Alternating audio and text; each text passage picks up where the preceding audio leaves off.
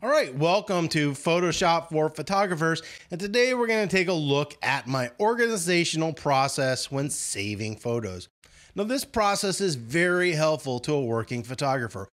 This video is going to be very helpful. A lot of times you have to find files and they get stuff reprinted. And this is going to show you exactly what the file is going to be like without ever having to open it up. So I'm going to walk you through my organizational uh, saving process here in Photoshop.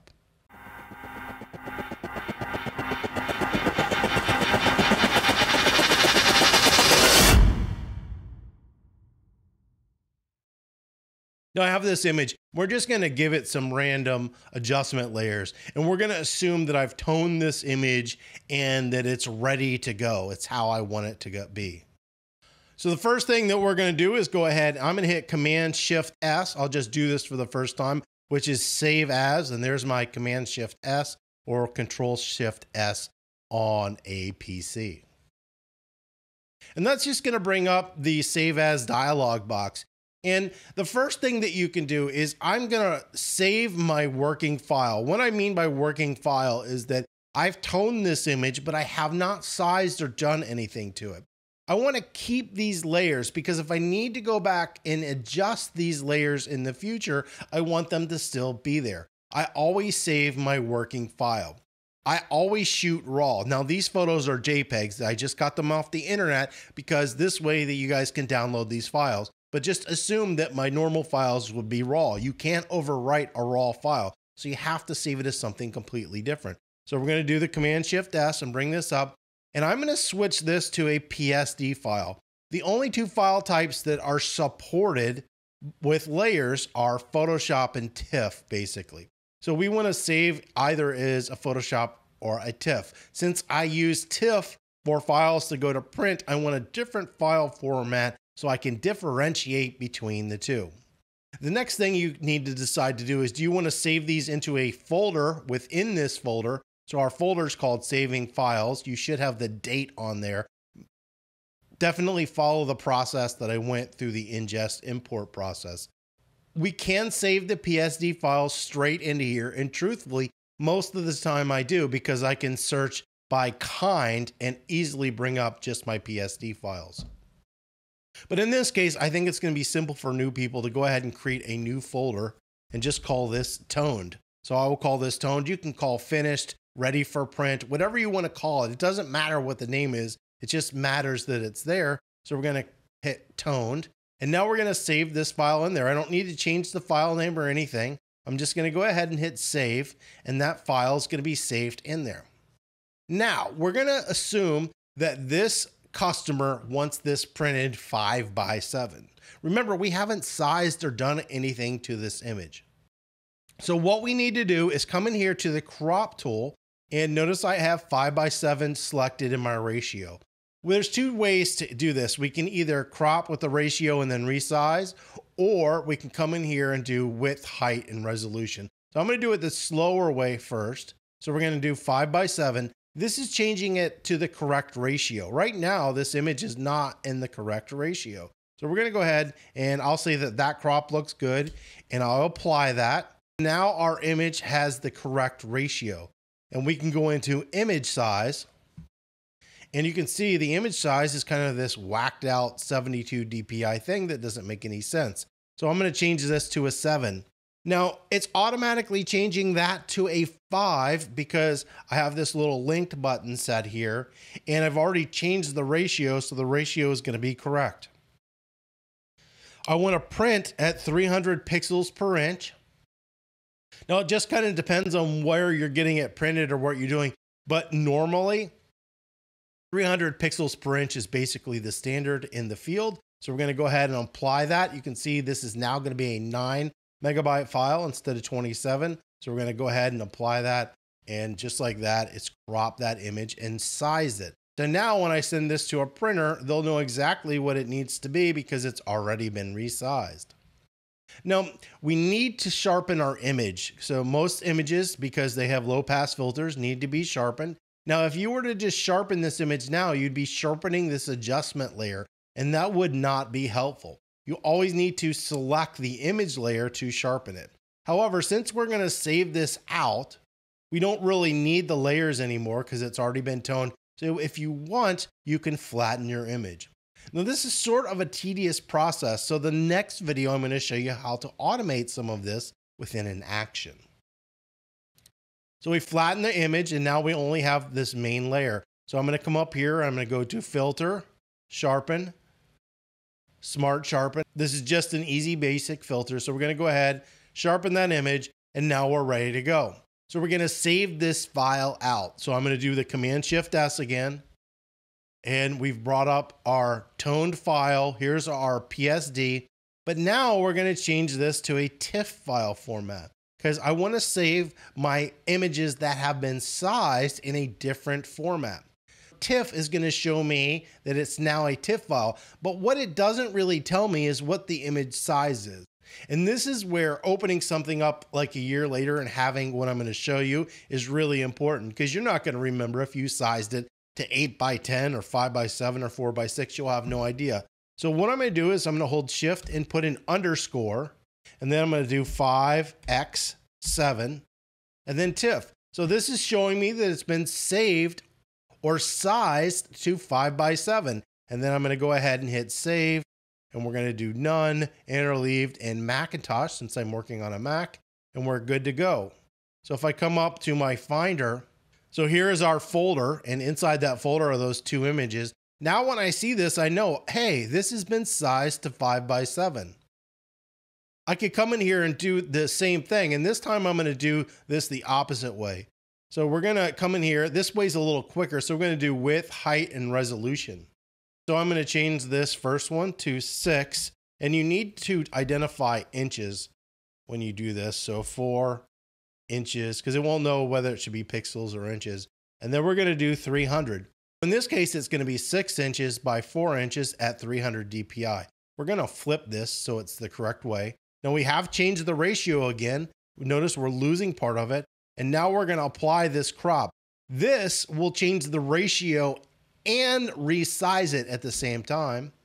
When I apply that, now this is four by six. So if I come in here to image size, you'll see it's already four by six at 300. So we don't need to do that step. And then I'm going to come in here and save as once again. It's still going to go right back into that last folder, but this time I can come in and do four by six. And notice we still have the TIFF extension, so we know it's for print. So this one I'm going to know is going to be 4 by 6. Now you can see we have a 4 by 6 and a 5 by 7. So if I ever come back and I need to get a 4 by 6 printed, I know to send that file. And if I ever need a 5 by 7, I can use this file. And if I need to do an 8 by 10, I'm going to have to open up this raw PSD file because I'm going to need to resize the image. Really, really easy. Now we're going to do one more thing that's a little bit different. My lab actually doesn't accept TIFF files, and you'll run into this that a lot of offset presses use TIFF in PDF. However, a lot of photography labs use JPEGs. Well, why? Because their servers would not be able to handle hundreds of thousands of TIFF files being sent in, so they want JPEGs. My lab actually does not want the color profile that I use. I use the Adobe 98 color profile and a lot of photographers use it because it has a larger color gamut. However, they don't like the sRGB because they say it grays the face too much in the way that they print. So they want an sRGB. So the first thing I would need to do for this lab is convert and change this color profile. Now this is really easy to do. You're going to come up up here and go to edit and you're going to go down to convert to profile. And that shows you right here that your source space that it's in right now is this Adobe, and we want to go to sRGB. So I can go ahead and hit OK. And now when I save this file out, so I'm going to go File, Save As, you can see down here, now it's going to edit or embed the sRGB color profile. But remember, they don't want a TIFF file, so I need to change this to JPEG. Now I'm going to still leave this at 4 by 6 because that's telling me that this image is saved for 4x6. And then I can just go ahead and hit save. I use quality large when I'm going to print and then hit OK. If we come up here, we'll notice now we have this JPEG as well. and it's four by six. The difference comes when you want to save something for the web. So we're going to take this image and we're going to say that we need to fit this image and have this long dimension be 1000 pixels. This does not need to be anything specific, but the height needs to be 1000 pixels. The reason pixels is because everything on the web is pixel based. If you ever hear anything size for the web at 72 dpi, that's just a misnomer. That's not correct information. You need to know the exact pixel size. So we're going to go up here to image size, and then I'm going to change this to pixels because I need pixel size. Now I said a thousand, so I'm going to go ahead and change this to a thousand. Your resolution doesn't matter because pixel size is set or fixed. It's going to be literally a thousand pixels high. Doesn't matter if you have this at 300, 1, 1 million. A thousand pixels is a thousand pixels. And so the width is going to be 667. I'm going to go ahead and hit OK. Now, one thing you have to remember when you save stuff for the web, it does need to be in sRGB. That's the color profile used on the web. However, we've already changed it at to sRGB, so we don't need to come up here and go edit, convert to profile because our profile already is sRGB, so we don't need to convert it. But if you were saving for the web, you would need to convert it. And all these steps are really where using an action where you just click one button and everything happens automatically is really going to help you out. I know it seems sort of a tedious process, but just because it's tedious, this is kind of what's happening. And then I'm going to show you how to automate it after this. So now we've got it at a thousand pixels and we're going to save it. And we're going to go to file once again, save as. And so remember, we already have this image as a JPEG. Well, how am I going to know that this is for print and this is for the web because they're both going to be JPEGs. And this is really, really easy. We're going to change 4 by 6 to 1000p, standing for 1000 pixels. Now, if I needed to have the exact dimensions, I could put, um, I forget what it was, 663 or 667, but it doesn't matter. You would put that exact dimension in there so we now know it's a 1000 by 663 or 7 pixels and then we would just hit save and okay. Now, saving for the web matters. The smaller the file size, the faster your image is going to load. If you wanted to bump this down to 7 or 10 or something else, you're going to lose image quality, but your file size is going to load quicker. I'm just going to go ahead and hit OK. I use a process called JPEG Mini. So we'll click on JPEG Mini. It's a compression program. So I'm going to save this file with JPEG Mini. And we're just going to call this JPEG Mini. And we're going to save this into the same file and hit save. And then we'll come up here. We have that file and we're looking for 1000 pixels. So notice that that 1000 pixel file was 202 kilobytes and when I use JPEG Mini, it's only 155 kilobytes. So it's reduced the size by a quarter or 25%. It's much smaller, but JPEG Mini retains the image quality when doing this. It's an actual fabulous program. Now, normally I would still label that as 1000 pixels, just like this, but just so you could see the difference. All right, so let's go over to our, our second image. So we have this second image that we have here. And what I'm going to do is I'm going to drag this history panel over here so we can see this history. And then I'm going to click an action.